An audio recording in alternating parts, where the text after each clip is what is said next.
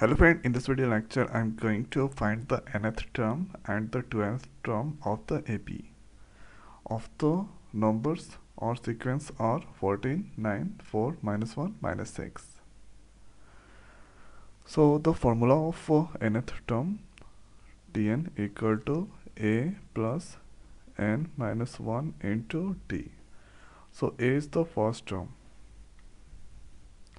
So here we can write A the first term is 14 and d is the difference between these two terms so here 9 or 14 the difference come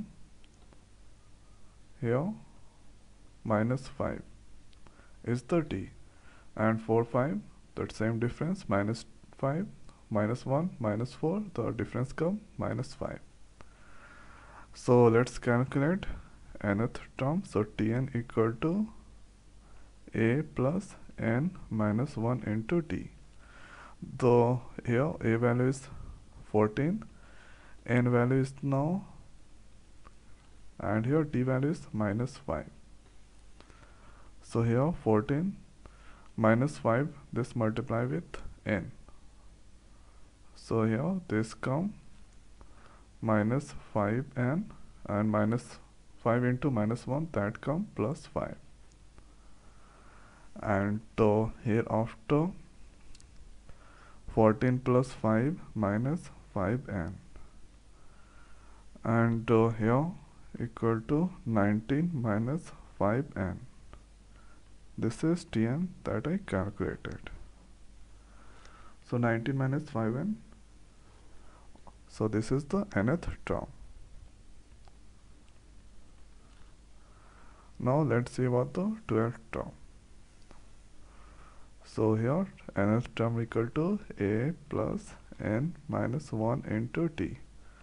So calculating 12 the first or term is a14 d a14 and here n is 12 minus 1 d is minus 5 now solve this.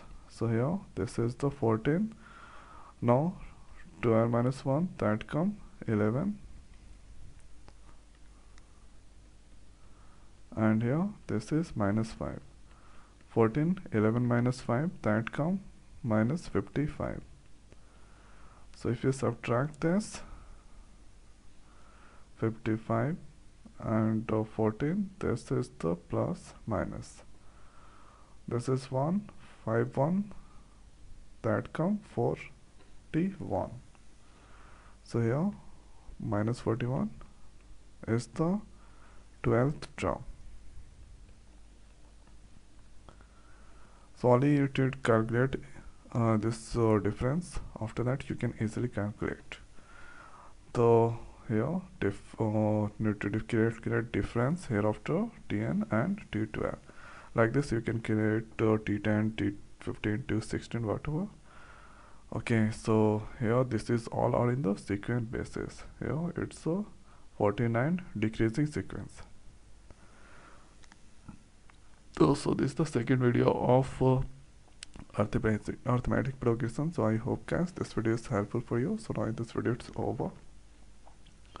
So thanks for watching. See next video. Thank you